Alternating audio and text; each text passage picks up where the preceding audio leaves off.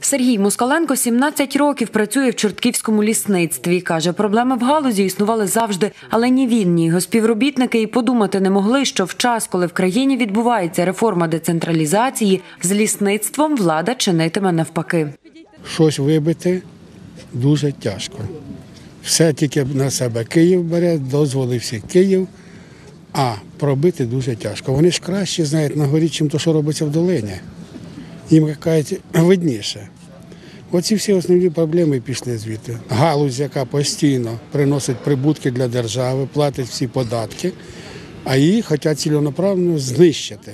Лише Чортківське лісове господарство охоплює чотири райони і має 11 лісництв. Загалом же на території області діє 5 держлісгоспів і державний заповідник. В галузі працює більше тисячі людей. Лісівники кажуть, стратегія розвитку лісового господарства передбачає, що на місцях залишиться підприємства з корпоративними правами, а фінансування йтиме з Києва.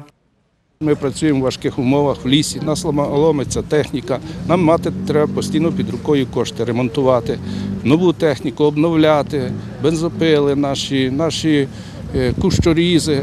Це все е, податки постійно платити, в строк зарплату виплачувати. Та найбільше лякає працівників лісового господарства оптимізація виробництва, тобто скорочення. Адже передбачено, що державні лісгоспи перетворять у приватні структури. Лісівники цим переймаються. кажуть, в області немає можливості знайти тисячу нових робочих місць. Щоб захистити себе і не допустити ліквідації державної структури, учасники акції протесту сформували список конкретних вимог. Збори вимагають відмінити рішення Кабінету міністрів України від 15 листопада 2017 року щодо схвалення стратегії реформування лісового господарства, беззаперечної відмови від ідеї створення єдиного лісогосподарського підприємства, що може привести до ліквідації діючих підприємств галузі, е, унеможливити приватизацію державних лісогосподарських підприємств, вийти Держлісагентства з е, Мінагрополітики, тому що воно не допомагає нам, а тільки, е, будемо казати, на шкоду нам працює. Посприяти у вирішенні проблемного питання лісівники попросили владу області. Заступник голови облдержадміністрації Ігор Вонц запевнив, попри те, що дана галузь таки потребує змін, керівництво ОДА протестувальників підтримує. Пообіцяв направити відповідні листи до Кабміну.